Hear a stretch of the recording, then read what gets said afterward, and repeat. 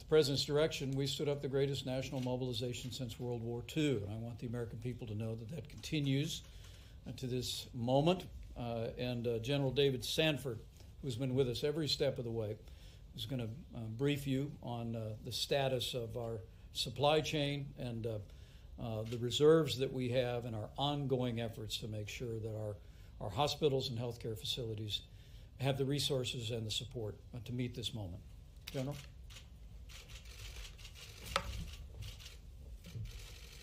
Mr. Vice President, thank you, sir. Uh, Dr. Birx, thank you, ma'am. So we are in a much better place and continue to improve upon that capability. You'll, you'll see from the slides behind me that we have uh, continued to grow our national stockpile, but also our FEMA stocks uh, to meet the requirements uh, laid out by our states and by our populations.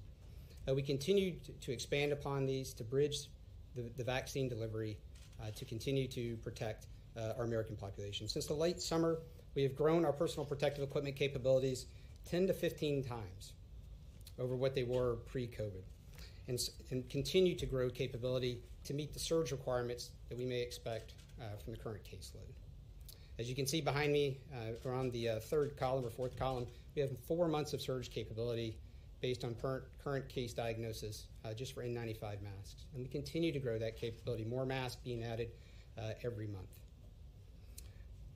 The Strategic National Stockpile and our FEMA uh, stocks are ready to be the backstop when our states require assistance.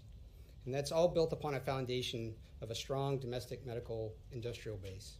Something where we've been able to expand upon or build, in some cases almost from scratch, using our Defense Production Act and other CARES Act authorities uh, to provide the capabilities for our American people, not just now, but into the future and for future uh, crisis or, or medical events going down.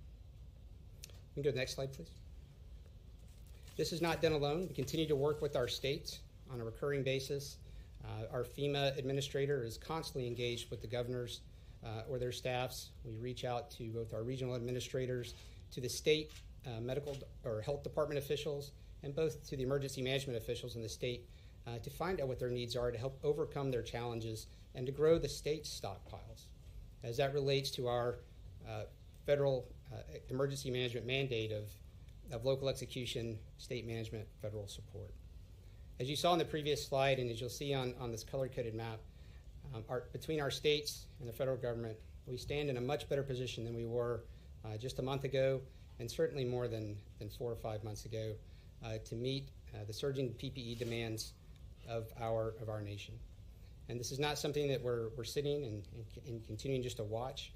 It is something that we're continuing to grow upon and continuously analyze so that we can stay ahead of the increases and make sure that we're either procuring and we have a PPE on the, on the uh, way uh, to meet the surge in cases. I'll turn it over to Dr. Fauci and General Perna.